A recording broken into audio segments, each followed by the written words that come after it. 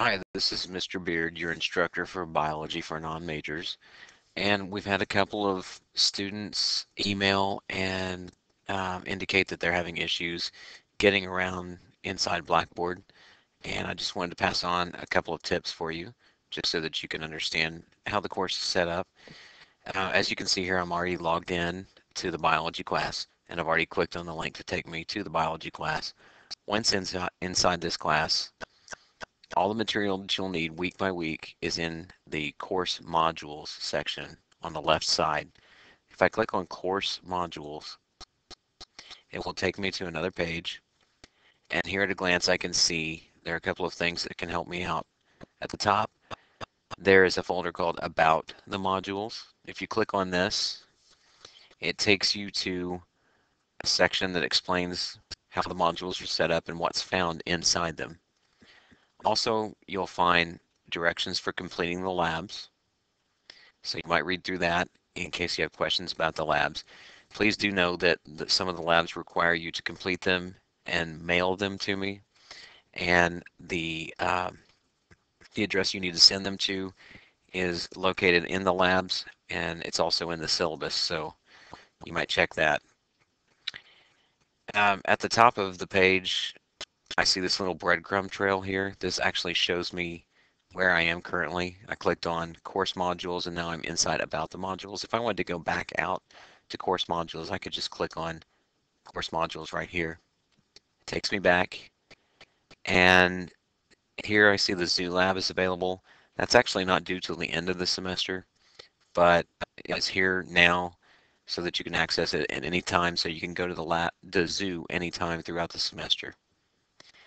If I click on Module 1, which is what you're supposed to have completed by this weekend, and you'll see that inside here there are some chapter folders and the labs that are due this week as well as the syllabus quiz. Now, taking the syllabus quiz is just as simple as clicking on the quiz and then answering the questions and then submitting at the end. One of the problems that some of you have been having is submitting labs. If you click on a lab, like the chemistry lab here, now, I'm going to use this as an example of how to upload a lab, but do note that I think the chemistry lab is one of those that you have to mail in. But for the most part, for the labs that you have to upload, you can simply open the lab from here by clicking on the document link. And then when you're finished completing the lab, you can scroll down. There's a section under assignment materials where you can uh, provide comments for me.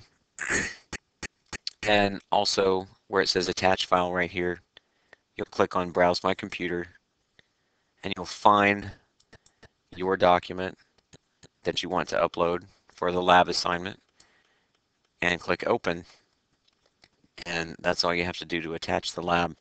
Now with the labs, when you complete them, you need to name the lab, for instance, Chem Lab, and then your last name and first initial.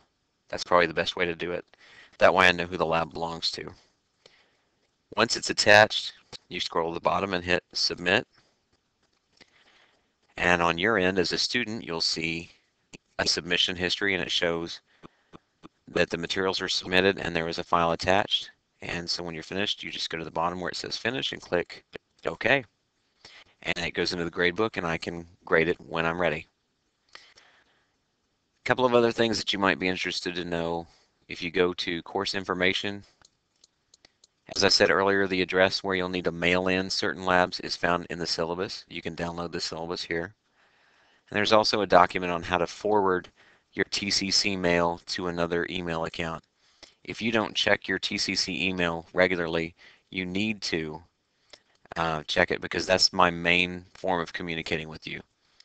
If you do have another email account, this document will explain how to have your TCC email forwarded so that if you use Gmail or Yahoo Mail, you can receive copies of those emails through that account. So you might check that out. Um, that's all I have for now. If you do have questions, don't forget you can also click on the send email button at the left hand side at any time you're in Blackboard and uh, from our from the biology site and it will send you can send me an email so if there are no other questions and you in uh, then hopefully this was has been a help to you. If not, just send me an email or um, call the ACS office at West Campus at 595 8060 and they can get a message to me. Thanks.